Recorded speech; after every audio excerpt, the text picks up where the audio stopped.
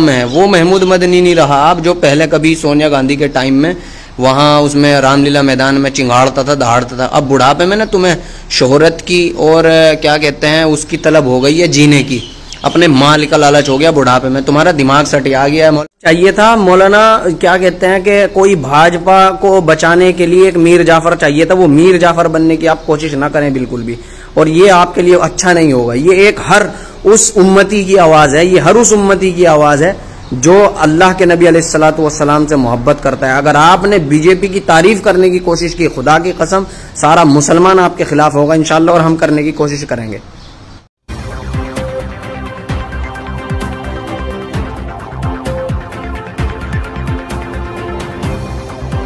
नाजरीन, हज़रत, अस्सलाम वालेकुम वरहमतुल्लाहि वबरकातुहू।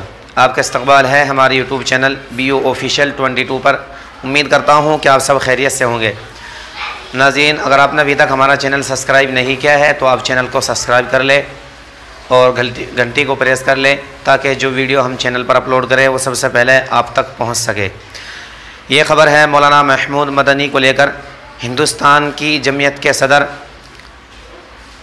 मौलाना महमूद मदनी, उन्हीं के ख़िलाफ़ एक शख्स हैं जिनका नाम मौलाना मज़ाहिर मज़ाहिरी है, उसने एक वीडियो जारी किया है, जिसमें उसने मौलाना पर बड़े ही सख्त लहजे में एतराज़ात किए हैं। आप हजरात वीडियो के देखें, मैं स्क्रीन पर उस वीडियो को लगा देता हूँ, आप स्क्रीन पर से उस वीडियो को देख। अस्सलाम वालेकुम रहमतुल्लाहि व भाई, ये मौलाना महमूद मदनी साहब को हो क्या गया? इनका दिमाग चल गया। या ये भाजपा से या बीजेपी से बहुत ज़्यादा प्रेशर में है? मसला क्या है आखिर?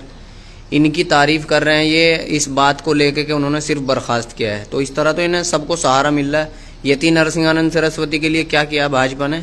एक बार भी उसने तो अल्लाह को भी गाली दी है। अमन चोपड़ा, ये बीजेपी, ये आज तक वाले, एबीपी वाले, ये रोज़ है ना, अल्लाह ताला की बेहरमती करते हैं। नबी सलाम की बेहरमती तो चलो बाद में आती है। हालाँकि हमारी सारी जानें कुर्बान है आप सल्लल्लाहु अलैहि वसल्लम पर, लेकिन उससे पहले अल्लाह तबारक व का दर्जा है, उसको गालियाँ देते हैं ये। यति नरसिंहानंद के लिए क्या किया है? भाजपा ने। ये जिम्मेदार पार्टी है। मौलाना, अपनी जबान को ना, जब आपको जो है, कौम एक तरीके से नकार रही है, पूरी कौम आपको, उलमा आपको नकार रहे हैं, क्योंकि आप दबाव में हैं, ज़रूर दबाव में है। वो महमूद मदनी नहीं रहा। आप जो पहले कभी सोनिया गांधी के टाइम में, वहाँ उसमें रामलीला मैदान में चिंगाड़ता था, दहाड़ता था, अब बुढ़ापे में ना, तुम्हें शोहरत की और, क्या कहते हैं, उसकी तलब हो गई है, जीने की। अपने माल का लालच हो गया बुढ़ापे में। तुम्हारा दिमाग सटिया गया है मौलाना। ये जिम्मेदार पार्टी है। क्यों नहीं कहते कि कातिलों की पार्टी है, कातिलों को सपोर्ट करती है?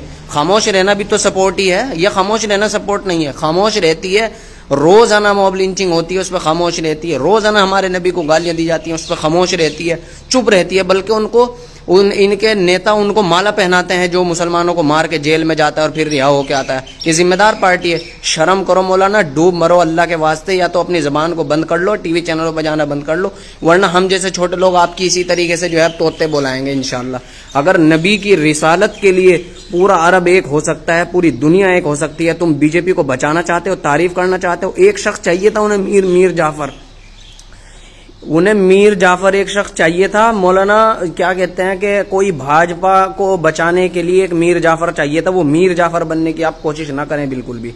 और ये आपके लिए अच्छा नहीं होगा। ये एक हर उस उम्मती की आवाज़ है। ये हर उस उम्मती की आवाज़ है जो अल्लाह के नबी सलाम से मोहब्बत करता है। अगर आपने बीजेपी की तारीफ़ करने की कोशिश की, खुदा की कसम, सारा मुसलमान आपके खिलाफ होगा, इंशाल्लाह, और हम करने की कोशिश करेंगे।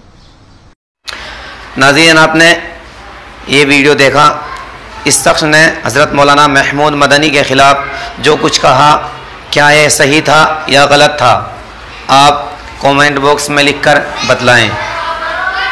मिलते हैं दोस्तों अगली वीडियो में, तब तक के लिए अपना ख्याल रखें। वालेकुम वरहमतुल्लाहि वबरकातुहू।